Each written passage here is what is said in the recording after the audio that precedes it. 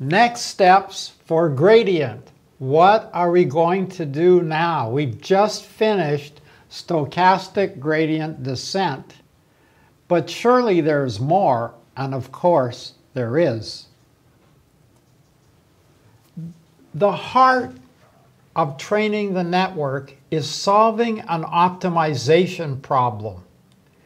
And there are many ways to do that, but the way that's most commonly used and what we've been studying is the weight updates, the change in the weights is equal to eta times the gradient, which is a vector operator on the cost function c, or if you like, L for loss function. Of course, that's uphill, so we put the minus sign downhill.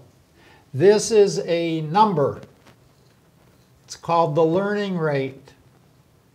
Oops, down here, learning rate.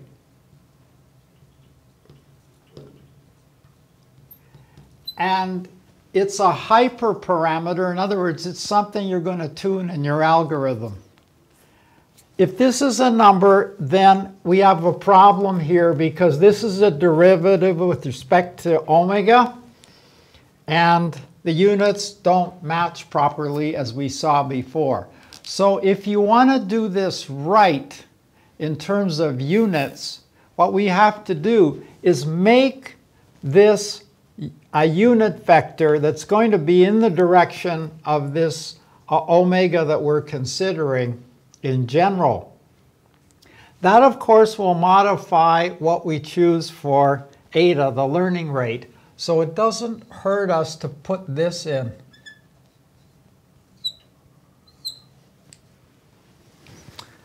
When we put that in, it really underscores the fact of what we're doing. And I personally don't like the term learning rate because I think of it in terms of an optimization problem.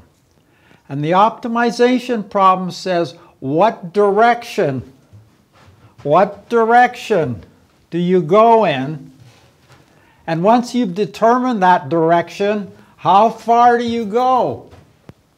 Very far or just a little bit? So, you have two things to play with. You have how far, how many steps, if you like, and this is the unit vector, that's direction. So you can play with, if you like, a magnitude and direction associated with the change between the old and the new values of the weights. And so we can see many strategies to do this. So later on we'll discuss something called momentum, which adds a piece to this side that involves the previous delta W that we got one step previously weighted by some constant, which will be another hyperparameter. Also, you can play with the direction of the, of the stepping. So you can play with the amount and the stepping, amount and direction.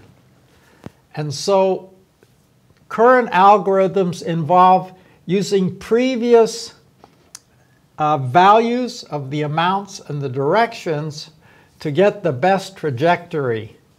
And that is embodied in the latest algorithm that is heavily used now called ADAM. We won't go into details to discuss how ADAM works, but at a high level, we're looking at tuning magnitude and direction. This is a unit vector, so which way do you go and how far do you go based on previous knowledge and some estimates of what the surface looks like. And that's what ADAM is all about. And when you use uh, some software packages like Keras and TensorFlow, ADAM is built in, and then you can use it directly with the appropriate hyperparameters.